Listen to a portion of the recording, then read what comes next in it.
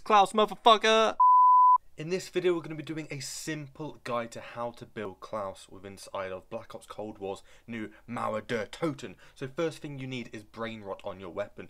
Once you have brain rot, you need to come up to hotel room 305. Once you're in here, you just need to shoot a zombie with that brain rot gun. And that zombie will be attracted towards this door right here. And you can simply walk into this like secret room and there's going to be a zombie looking dead thing on the bed with some hands around its throat. What you need to do, you need to go up to that, you need to interact with it, and it's basically going to do like a little animation that you can't control yourself, and it's going to pull them hands off, and that is the first piece that you need. The second piece that you need, you actually need to get to round 10.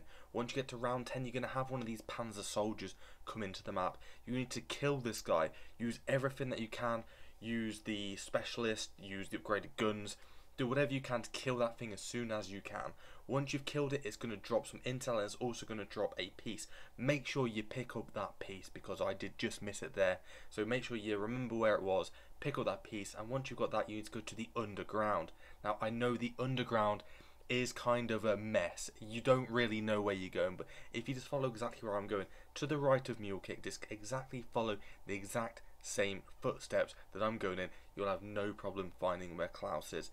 So right here is Klaus, he's inside the safe house, simply walk up to him, hold down the interact button, then all of a sudden all the zombies won't be going towards you so you can kind of see him stand up and do his funky moves and basically he comes alive and he's in your game and that is exactly how you build Klaus So inside of new Call of Duty Black Ops Cold Wars Mauer der Toten. If you guys have enjoyed this video, make sure you hit that like button, hit that subscribe button, and we'll see you guys in the next videos. Thanks for watching, guys, and I'm out. Peace.